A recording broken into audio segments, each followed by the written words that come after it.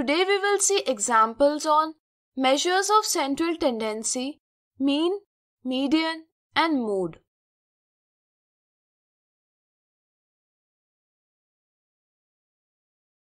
The government organized a free medical checkup camp in a village. The blood sugar level of diabetic patients during the examination is shown below. Find the mean of the data presented. Here, we are given observations and their frequency. So, we should use this formula to get mean. Here, x bar is mean, xi is observations, fi is frequencies, and n is the number of entries in the table. Here, n is equal to 5. Here, we will make the table like this, where in first column, we will represent xi means observations, in second column fi means frequency, and in third column, we will represent multiplication of observation and frequency means Fi xi. Here, the sum of the frequency of observations is 30, which means that a total of 30 diabetes patients were tested for blood sugar level. Now, for each observation, we will find FIXI means Fi multiplied by Xi.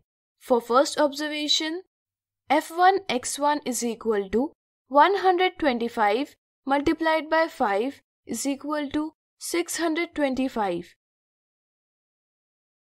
Similarly, we will find Fi multiplied by Xi for other observations.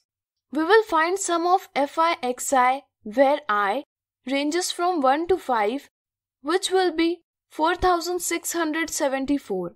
In this way, mean is equal to 155.8.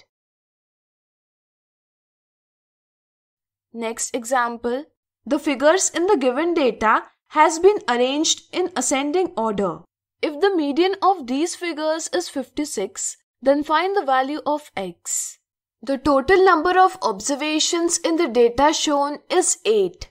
The number 8 is an even number. We know that if number of observation n is an even number, then median is mean of n by 2th and n by 2 plus 1th.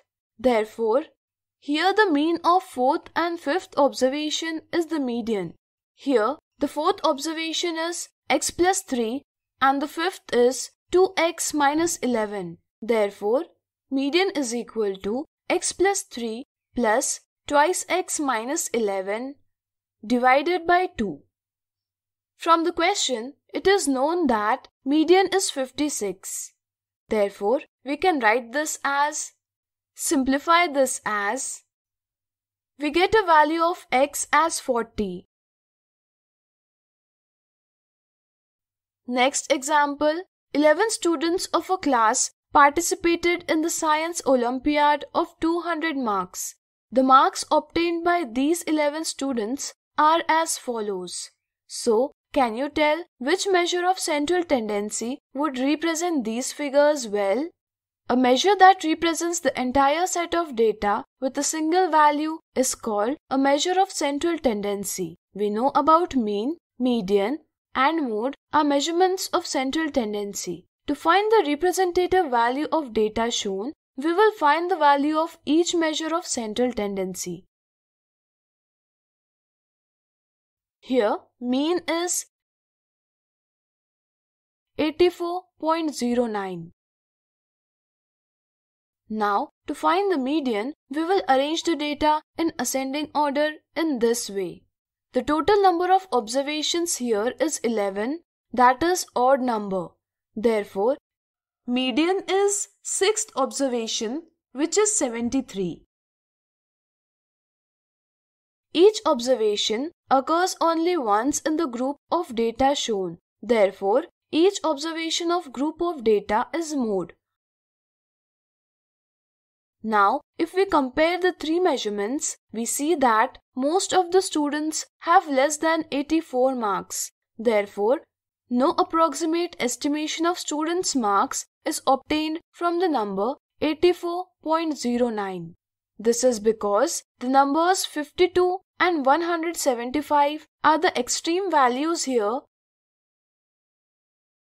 the difference between some statistics in the group of data is very large. Therefore, the mean is not a perfect representation of this set of statistics, and the mode of this set of data has no definite value. Therefore, the mode is also not a perfect representation of this group of data. Now, if we talk about the median, the value of median is 73. Here, the number 73 is more effectively representing the marks obtained by the students and the extreme value of 175 is not having much effect. Hence, median 73 is the best representation of this group. So today we have seen examples of central tendency measurements, mean, median and mode.